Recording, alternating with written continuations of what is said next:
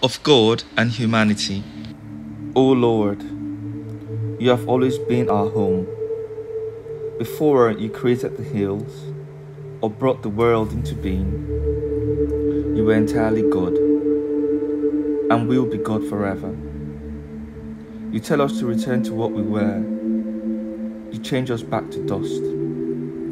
A thousand years to you are like one day. They are like yesterday already gone, like a short hour in the night. You carry us away like a flood. We last no longer than a dream. We are like weeds that sprout in the morning, that grow and burst into bloom, then, then dry up and die in the evening. We are destroyed by your anger. We are terrified by your fury. We place our sins before you, our secret sins where you can see them. Our life is cut short by your anger.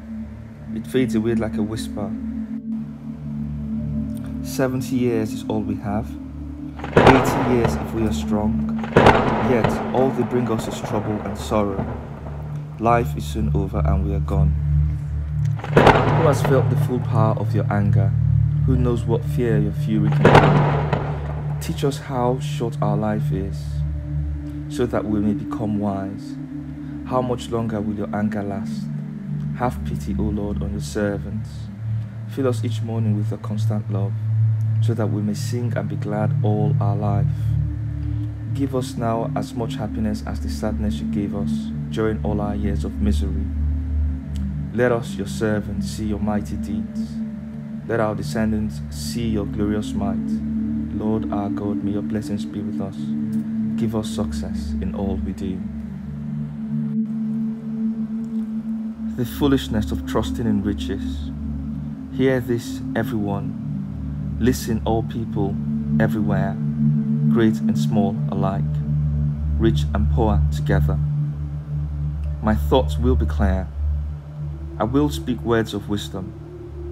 I will turn my attention to Proverbs and explain their meaning as I play the harp. I am not afraid in times of danger when I am surrounded by enemies, by evil people who trust in their riches and boast of great wealth. A person can never redeem himself. He cannot pay God the price for his life because the payment for a human life is too great.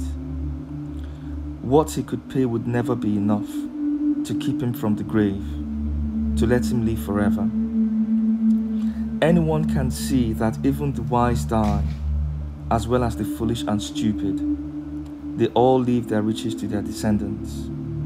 Their graves are their homes forever. There they stay for all time. Though they once had lands of their own, no one's greatness can save him from death.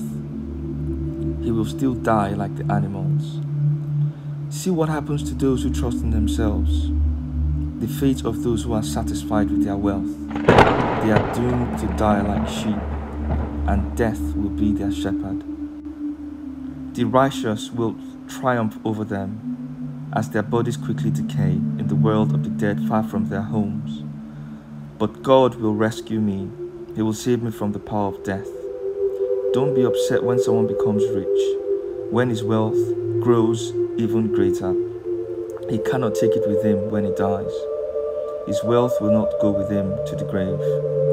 Even if he is satisfied with this life and is praised because he is successful, he will join all his ancestors in death, where the darkness lasts forever. His greatness cannot save him from death. He will still die like animals. Human wickedness. Fools say to themselves, There is no God. They are all corrupt and have done terrible things. There is no one who does what is right. The Lord looks down from heaven at human beings to see if there are any who are wise, any who worship Him. But they have all gone wrong. They are all equally bad. Not one of them does what is right, not a single one. Don't they know, asks the Lord, are all these evildoers ignorant? They live by robbing my people, and they never pray to me. But then they will be terrified, for God is with those who obey him. Evildoers frustrate the plans of the humble, but the Lord is their protection. How I pray that victory will come to Israel from Zion. How happy the people of Israel will be when the Lord makes them prosperous again. True happiness. Happy are those who reject the advice of evil people, who do not follow the example of sinners, or join those who have no use for God. Instead, they find joy in obeying the law of the Lord, and they study day and night.